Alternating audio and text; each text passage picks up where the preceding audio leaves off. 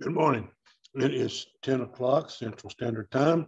We want to welcome you to the Dallas Independent School District STEM Environmental Education Center virtual field trip. I want to say a very special welcome to our friends at Dealey Montessori and International Academy of Dallas ISD.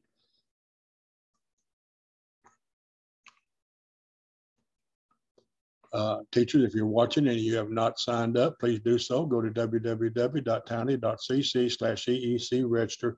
Sign up. We'd appreciate it. It's just for our attendance records. Uh, the program today will be characteristics of animals. During this virtual field trip, students will sort animals into groups based on physical characteristics such as body covering, identify basic parts of animals. Mr. Monroe will do a program about amphibians. Ms. Fuller will tell you all about birds, Ms. Nash will cover reptiles, and Ms. Ramirez will present a program about mammals. During this program, you cannot verbally ask us a question, but you can go to www.tiny.cc slash EEC question, uh, space question space answer and send it in. I'll try to answer it during the program. If not, I will uh, send the answer to your teacher I am going to stop sharing my screen. And Mr. Monroe was going to tell you all about amphibians.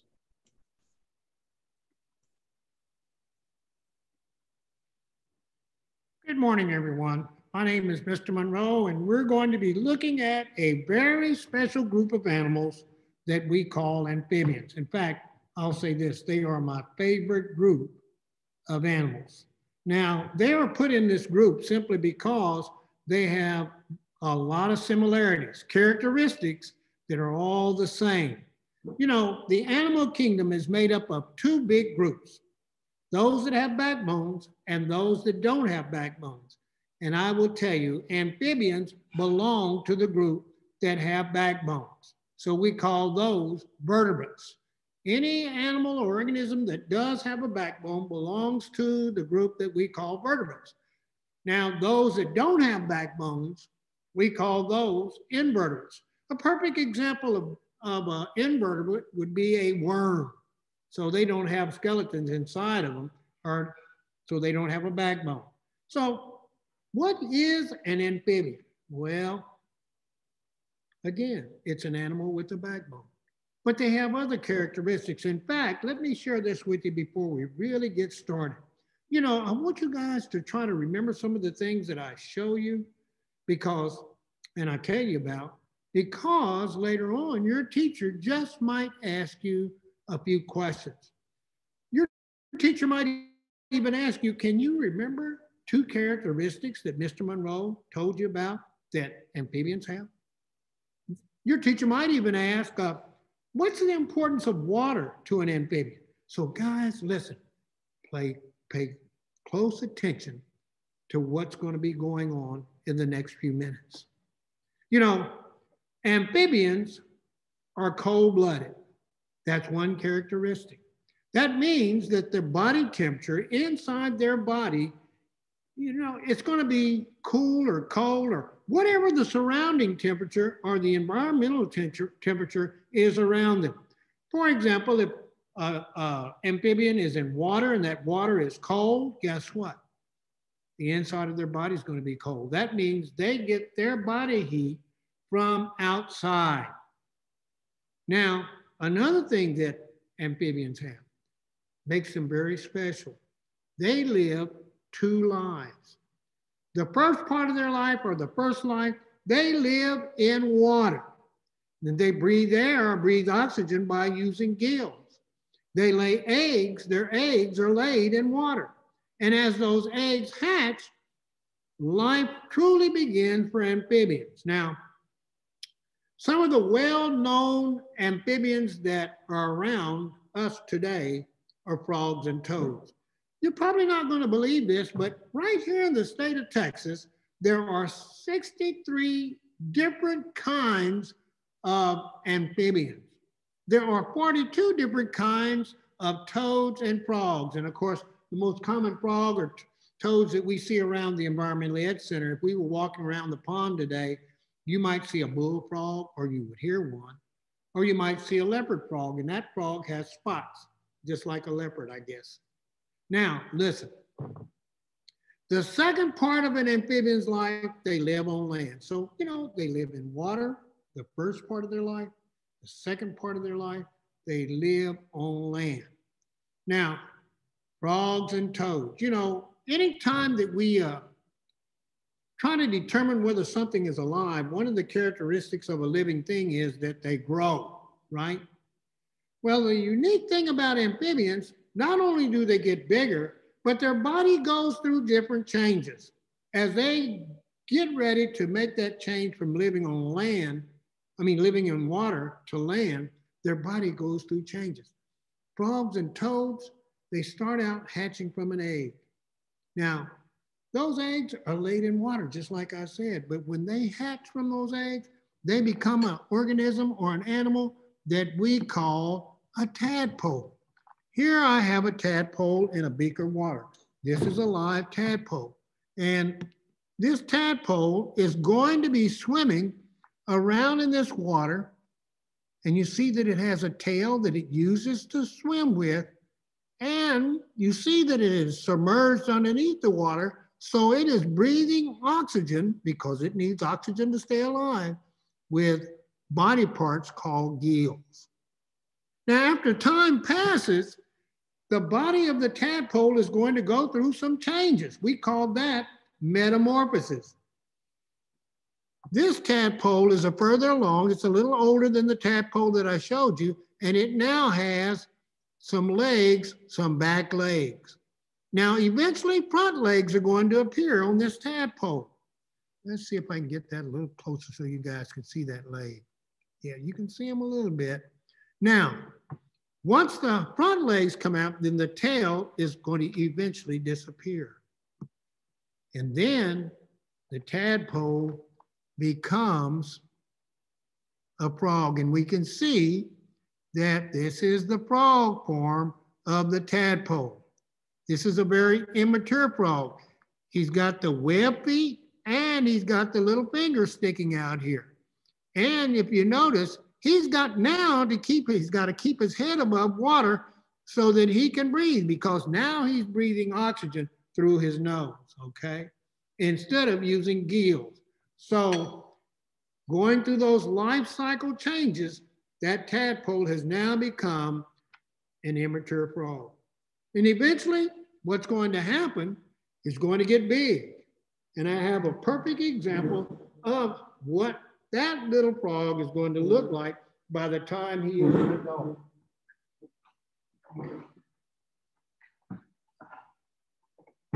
This is an adult bullfrog. It started out just like a tadpole there. This is Hoppy the bullfrog. Now, Hoppy the bullfrog is a full grown or a mature bullfrog. Now, at this stage, he will spend a lot of his life around the edge of the pond, okay? He's going to keep his skin wet for several reasons. First of all, the main reason is that Hoppy has, our bullfrogs have a three-chambered heart.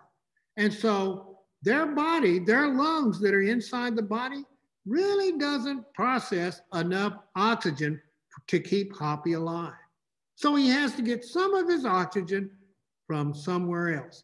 Guess where it has to come from? It comes from his skin. Because his skin is what we call permeable, it means it's got tiny little holes that gases can come through those little tiny holes. Gases in the form of oxygen come through those little tiny holes, and that's where he gets some of the oxygen that is keeping him alive. Now, if his skin should dry out, guess what? It would not be good for Hoppy. He would probably die, guys. That would not be good. It would be like him suffocating, not being able to breathe. Now, something else about Hoppy. Now, in the water, he uses these feet to swim, right? Look at him, big old web feet. Boy, he's an excellent swimmer. And you know what else? It also gives him a very good platform to jump from. If I was to put Hoppy down, he would be able to jump six to eight feet across this floor here. Be very hard to catch him, right? because he's got muscular legs. Look at those legs, they're very strong. So, you know, amphibians usually are going to be yellow, brown, or green in their body color. Kind of helps them blend in in their surroundings. We say that they're camouflaged a lot, okay?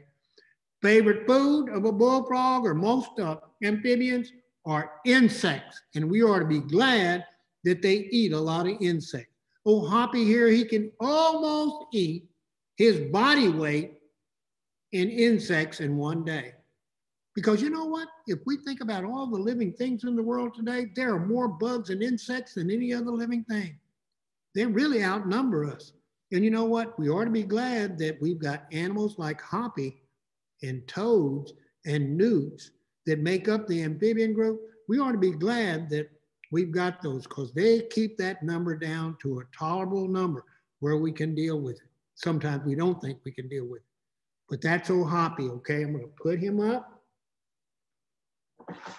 Now, there are two well-known members of the frog family that live around our center. The leopard frog, which has a lot of spots, won't get as big as old Hoppy. And then we have the bullfrogs. And you know what, guys? They are an environmental indicator. You heard me tell you how they breathe oxygen. And you know, if the air is bad around the pond or the water's got a lot of pollution in it, do you think those frogs can live there? No. Well, the other well-known member of the amphibian group that we see a lot is toads. And I do have a toad to show you. Now, the little toads that we see around here, the spring toads and other smaller species of toads, they don't compare to this guy that I'm getting ready to get out.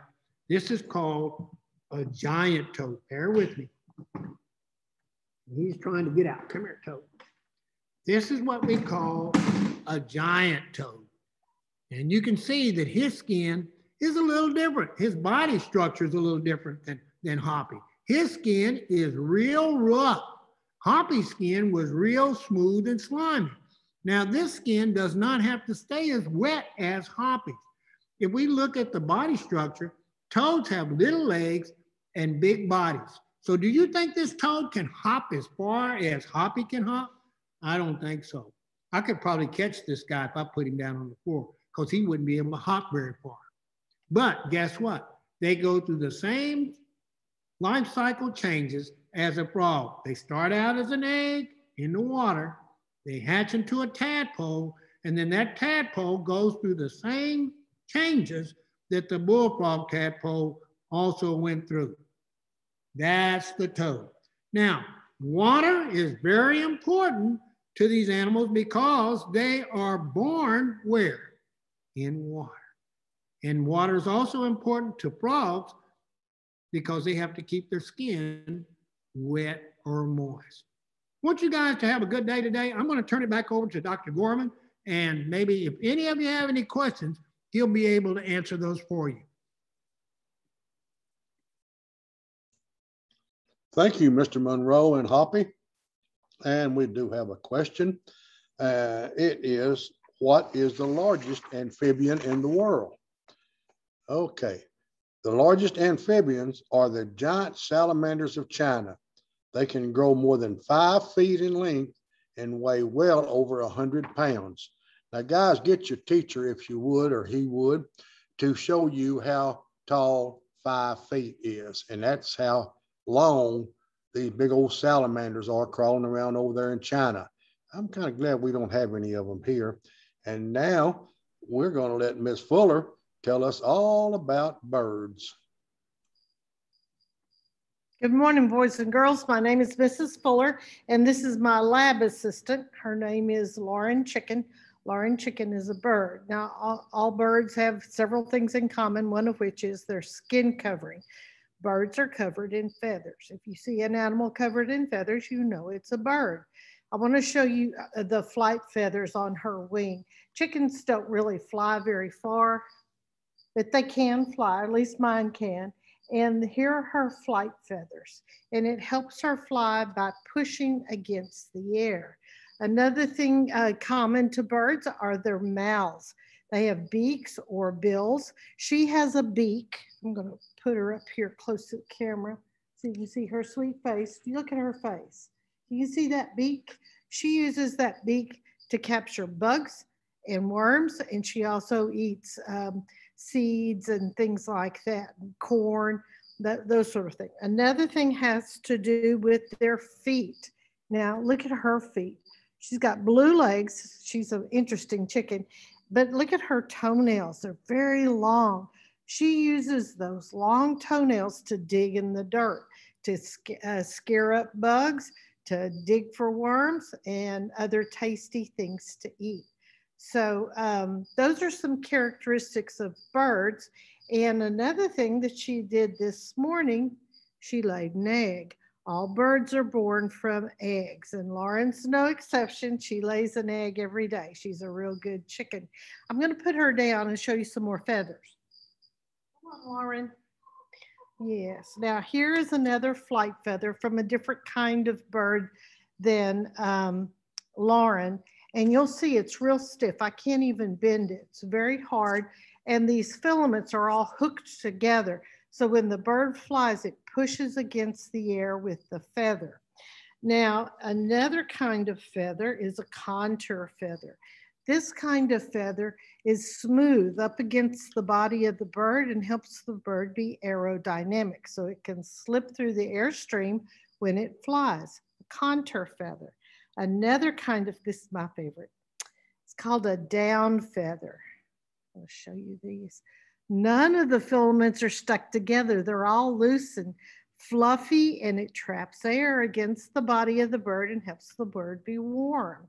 And then finally, ooh, look at this, a peacock feather. How do you think the, the peacock uses this feather? It can't fly with it, it's too flimsy and it's too thin to be warm. So what does it do? This is in the tail of the ma male peacock. And when he spreads his tail out, he's got all kinds of numbers of these things. It makes him look enormous and can scare an animal away. And also with that design, it makes him look like he's covered in eyes. So it really is a exciting way for him to protect himself. It's quite impressive looking.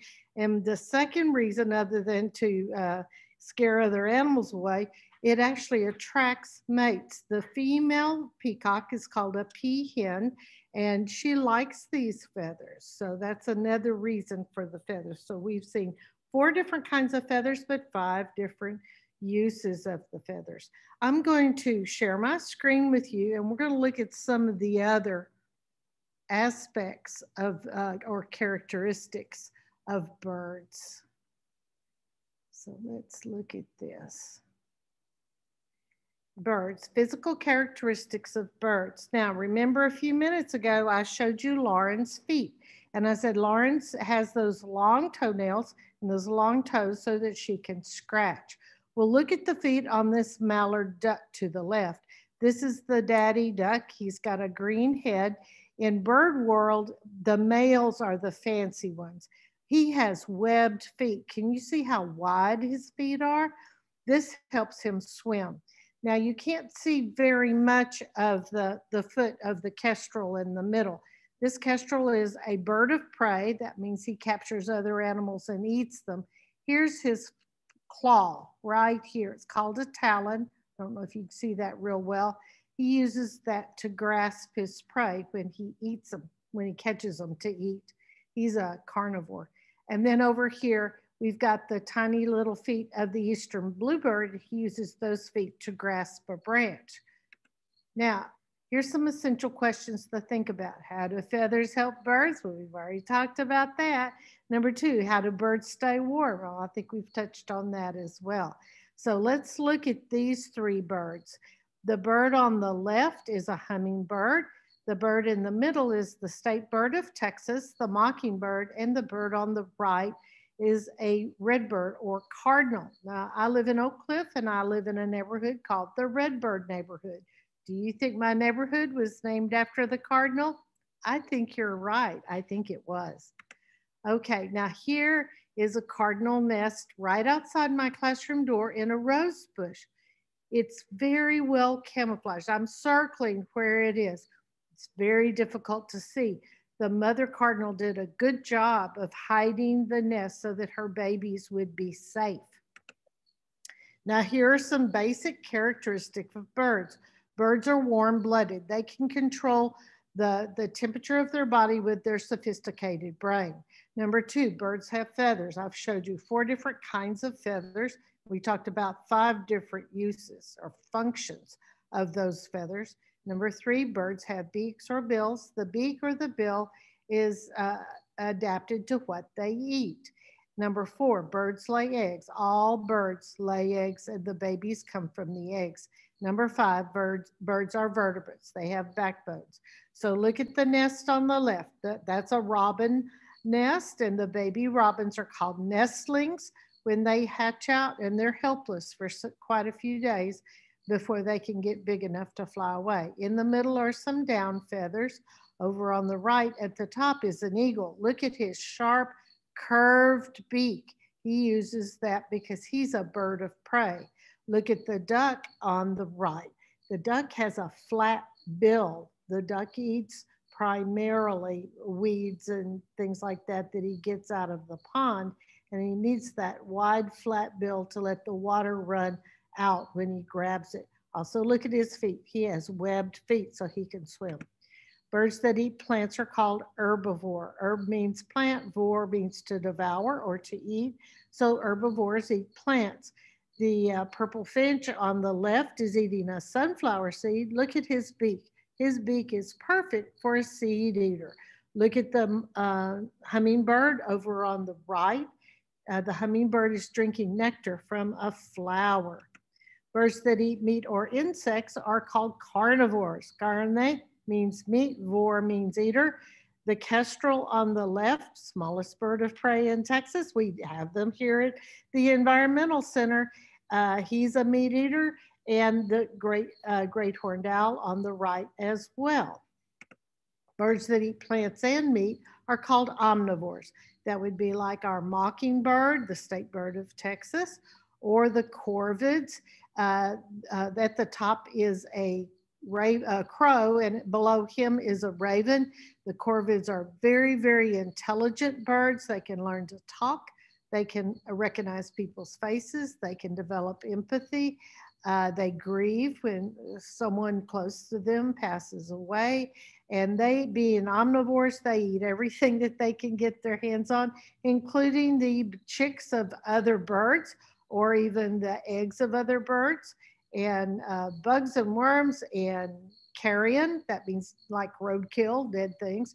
And over on the right, we've got a turkey and a chicken, and they will eat bugs, worms, and seeds and corn.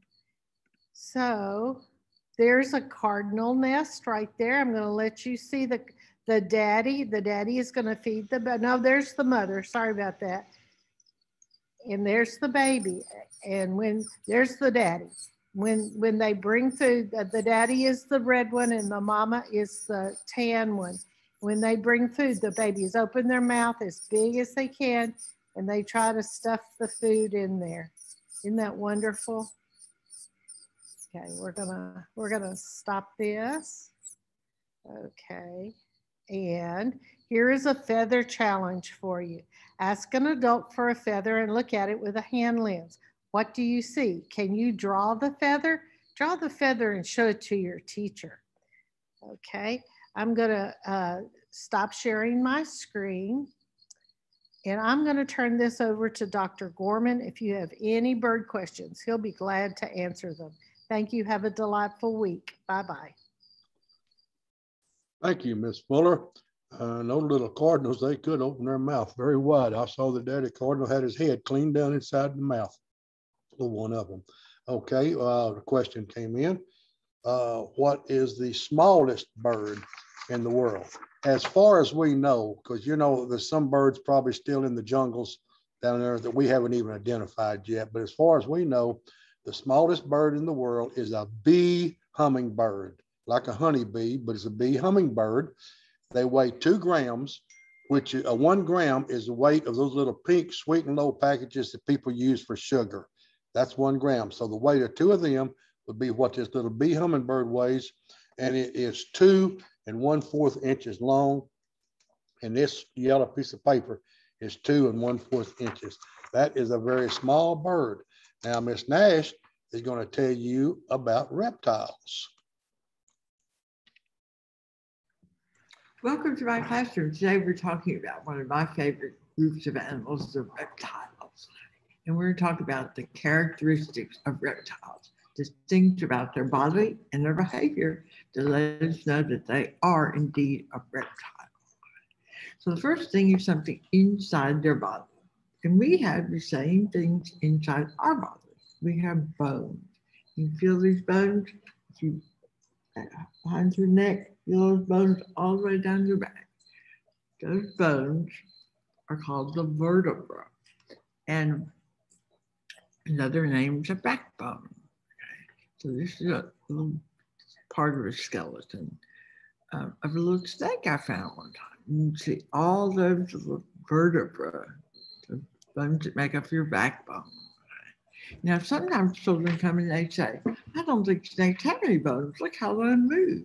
Of course, they actually have another little snake skeleton, a complete one this time, with the head, the body, and tail. No leg bones, but they've got lots and lots of bones. And all those vertebrae, the backbone, is what helps them move like they do.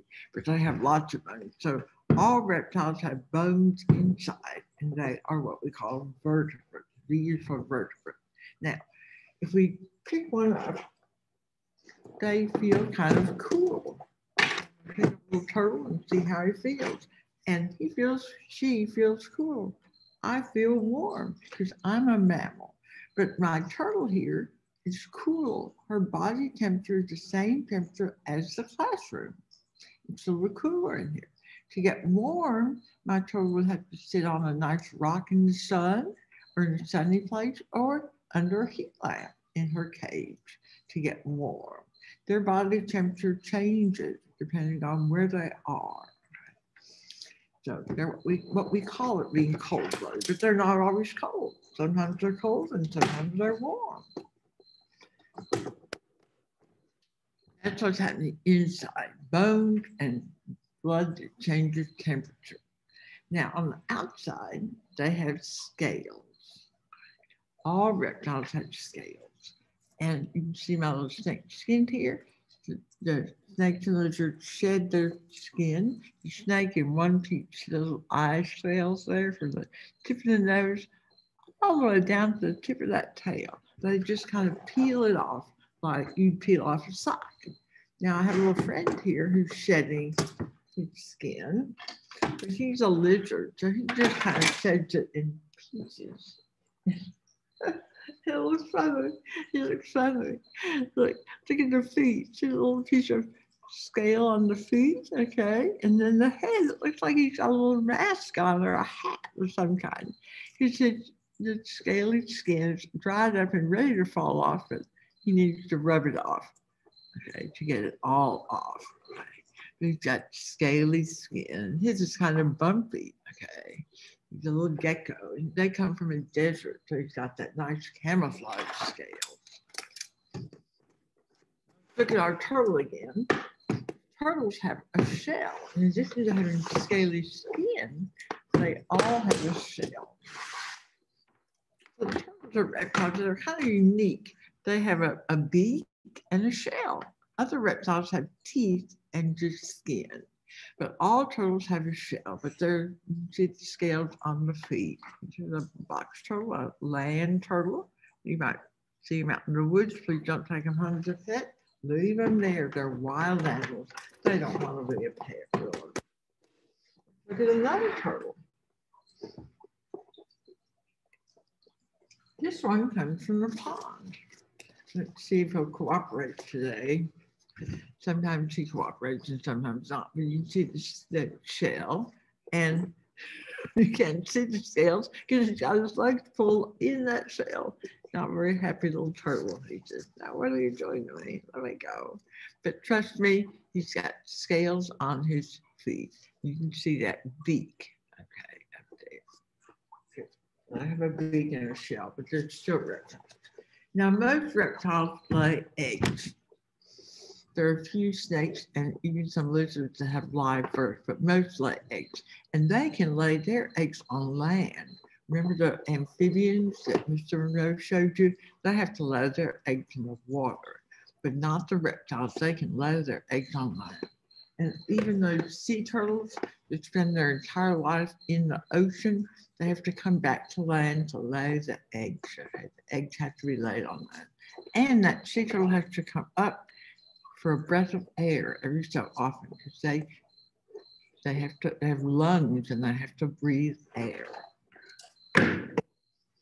Let's meet everyone's favorite favorite reptile. The snake. Come here, Red. This is Red. It's a beautiful snake. He's called a corn snake or rat snake. He's sticking his tongue out. He's smelling with that tongue. Looking all around, moving around. And while you may think, how can he have any bones? Remember, that skeleton, that long, long backbone that allows him to move around like that. So he's got lots of bones inside. And he again feels cool because his body is the same temperature as this classroom. Now, if, look, if you look at their beautiful shiny scales, see the scales, they protect his body. And on the belly, on the bottom, he's got some different ones and they kind of help him move. The scales protect the body and they allow the snake to live in dry places. An amphibian would not be very happy. But because he's a reptile, he's just fine in a desert. So really amazing animals. Remember, don't ever pick up a wild animal. If you find it, just observe it and leave it alone. They're wild animals. So our animals here are our little pets, but we don't take any animals out of the wild. So hope you enjoy meeting the reptiles and you can learn more about them. If you have any questions, Dr. Gordon would be glad to answer. Thank you, Ms. Nash and Red. Well, that's a beautiful snake. What an unusual coloration. Okay, uh, the question is, what is the largest reptile in the world today. Saltwater crocodiles are the largest crocodile species in the world and the largest living reptile in the world. The largest one was 22 feet long. Now that's a big crocodile. And now Miss Ramirez is going to do a theatrical program about mammals. Hello, my name is uh, Miss Ramirez, and we're going to be learning about those special furry animals. So before we get started, I have a little poem for you guys. I'm going to say a sentence and act it out, and then you guys will repeat it after me. So the first thing we're going to do, you're going to take your hand, you're going to touch the back of your neck, feel that hard bone. That bone goes from your neck all the way down the middle of your back. That's called your vertebrate. Can you guys say that word? Vertebrate. It's just your backbone. So again, take your hand, touch your backbone or vertebrate, and we're gonna say, I'm a little vertebrate. I'm a little vertebrate. Now touch your hair and go with fur or hair, with fur or hair. Now you're gonna rock your arms and say, my mother gave me milk. My mother gave me milk. Now you're gonna make a heart with your hands and say, and raised me with care, and raised me with care. Who am I? Who am I? So now I'm gonna say it one more time all together and think about which one of these animals do you think we just described? So here we go. I'm a little vertebrate with fur or hair. My mother gave me milk and raised me with care who am I? Do you think it is a beetle, a bird, a turtle, or a dog? So which one do you think uh, we just described? Hopefully you guys said the dog. Uh, so the dog is what we call a mammal. And mammals have hair or fur. They have a vertebrate or backbone. They get milk from their mothers, and their mothers usually do a pretty good job of taking care of them. So now I'm going to share my screen with you guys. Oh, actually, I have a mammal to show you guys. Um, so it's actually one of my favorite mammals, and it is a bunny or a rabbit. It might take me a little bit to take my rabbit out. So while you guys are waiting to meet my rabbit, if you can show me two bunny ears, you can stand push your chair in and you're gonna do five bunny hops while I go and take our bunny out. So be working on your five bunny hops and I'll be right back with that bunny. So hopefully you guys are counting to five as you're doing your bunny hops. And here is my bunny. So now you guys can go ahead and take a seat so you can get ready to meet my bunny. Uh, so this bunny is Mochi. And we know that Mochi is a rabbit. Can you guys say hi, Mochi? So we know Mochi is a mammal because if you were to touch her, her body is covered with soft fur. Also, look at her nose. Look how it's moving or twitching. She is smelling. Look at those big eyes and her really long ears to help her listen. So again, we know that she's a mammal because her body is covered with hair. Uh, she also has a long backbone. When she was a baby, she drank milk from her mother and her mom probably did a really good job of taking care of her because of course she's still here right now. Uh, so I'm gonna go ahead and put Mochi, our bunny friend, uh, down and she's gonna go play around on the floor. And now I'm gonna share my screen with you guys and we'll take a look at some other mammals. So let me get that screen share started.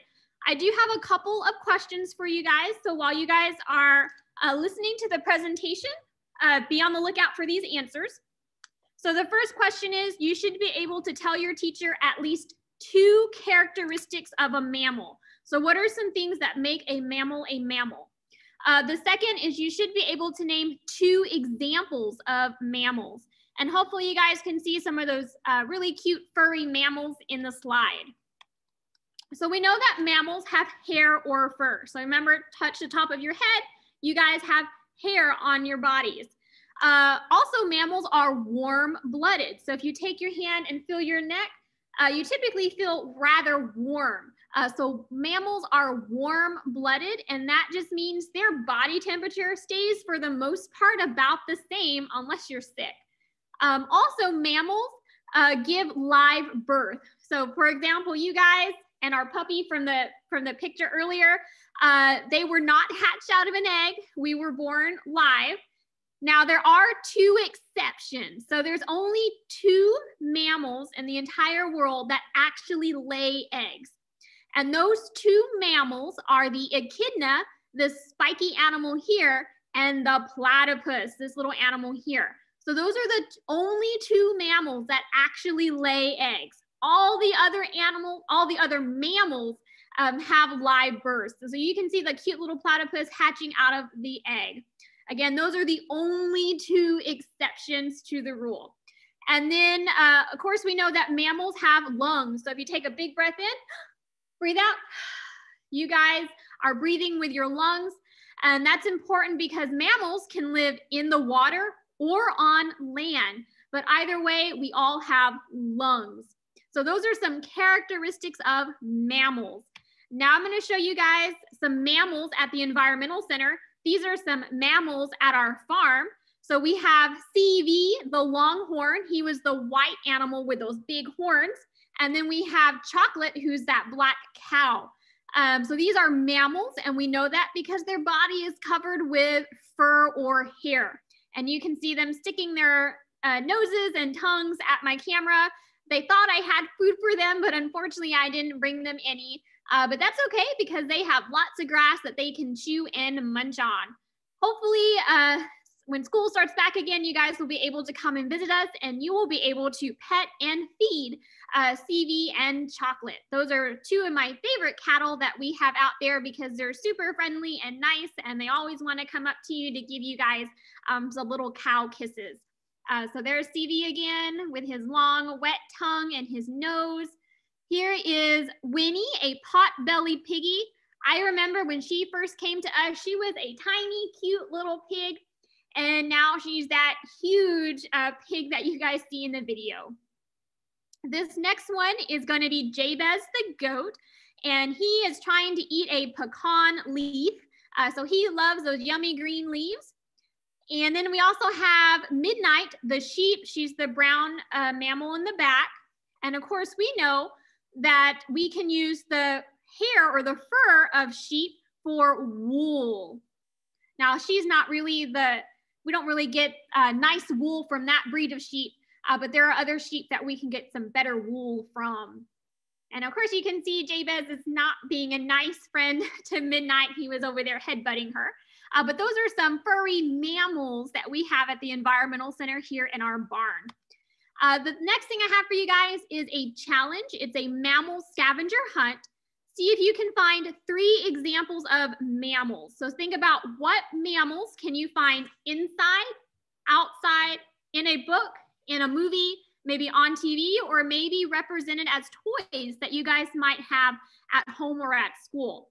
And for an example, uh, one of my favorite movies when I was a kid was Pocahontas. And this is one of my favorite characters from that movie. His name was Meeko, and he's a raccoon. But we know that raccoons are mammals because they're covered in fur. So think about what are some examples of mammals that you guys can find at home or at school.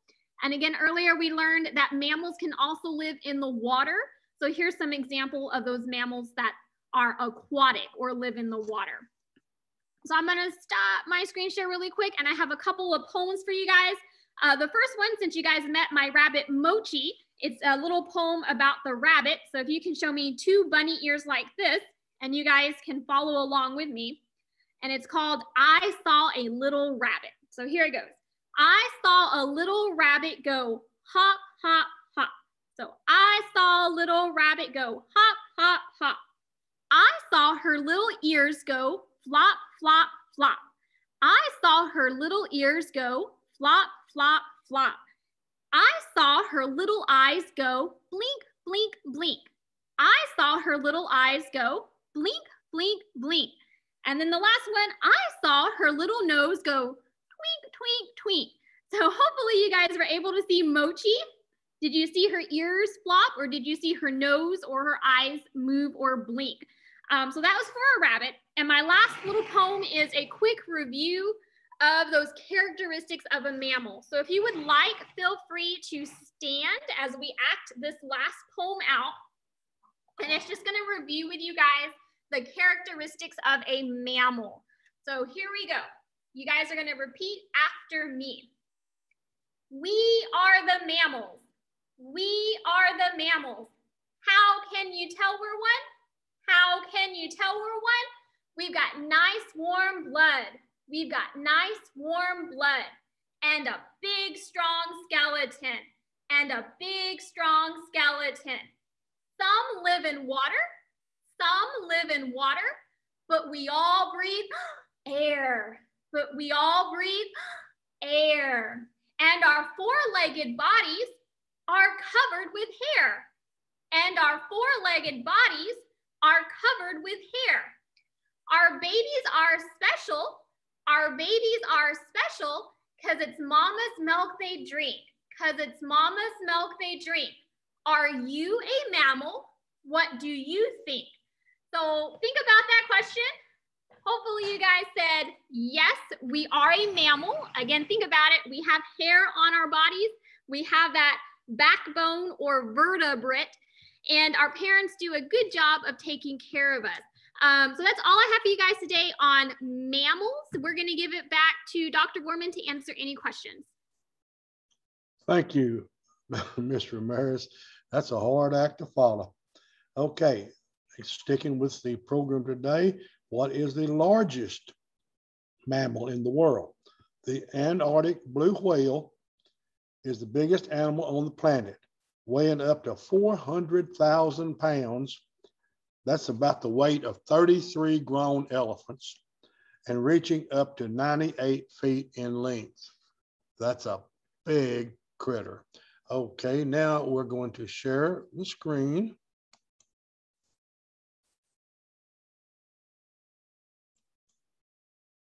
During this virtual field trip, students sorted animals into groups based on physical characteristics such as body covering identified basic parts of animals. Mr. Monroe discussed amphibians. Ms. Fuller did a program about birds. Ms. Nash introduced you to several different reptiles, and Ms. Ramirez did a theatrical program about mammals. Thank you, teachers. How did we do? If you would, go to www.tiny.cc slash EEC feedback, fill out a very short form and send it back to us. We would appreciate it. Thank you.